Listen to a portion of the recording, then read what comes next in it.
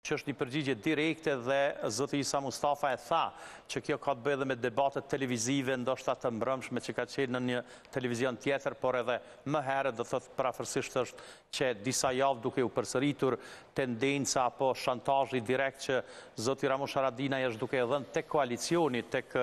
tek koalicioni qeverisës i tanishëm, që nëse ai nuk e merr postin e presidentit të Kosovës mund të bie, po, kjo qeveri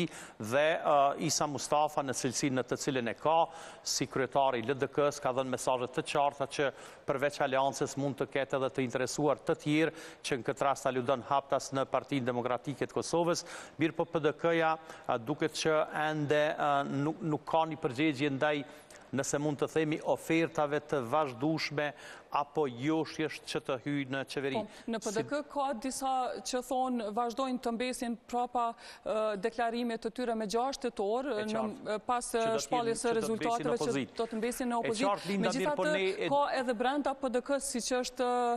zoti Xhavit Haliti, ai i cili ka thënë që PDK mund të hyjë në qeveri. Është e qartë Linda, mirëpo ne e dimë se ku po jetojmë që sa mund t'ju besohet politikanëve tanë. Po. Besoj që momentin që e shohin të arsyshme, nuk e kanë fare vështirë që,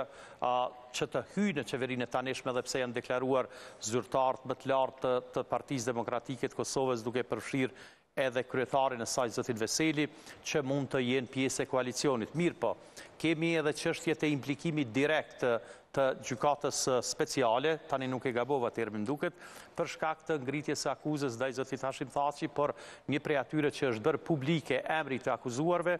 është edhe kryetari i PDK-së zoti Kadri, po, Veseli. Po. Dhe sigurisht që Kadri Veseli me eksperiencën e tij edhe politike, edhe eksperiencën tjetër njerëzore, themi dhe ka edhe këshilltarët e tij juridikë me siguri, që është duke bërë potez të mirë duke pritur që Gjykata Speciale ta konfirmojë apo jo aktakuzën dhe pastaj sigurisht që rrugën do ta gjejnë që a dojnë të hyjnë në këtë koalicion qeverisës i cili është shumë shumë i brishtë apo jo. Po, Mendoj që PDK-ja që ashtu siç ka nisur qe disa ditë që AAK-në do ta shohim në opozitë dhe PDK-në pjesë të qeverisë Hoti? Këte dashta me thonë që mendoj që PDK-ja është duke lujtur lojën mirë, që nuk është duke u deklaruar saksisht, përveç që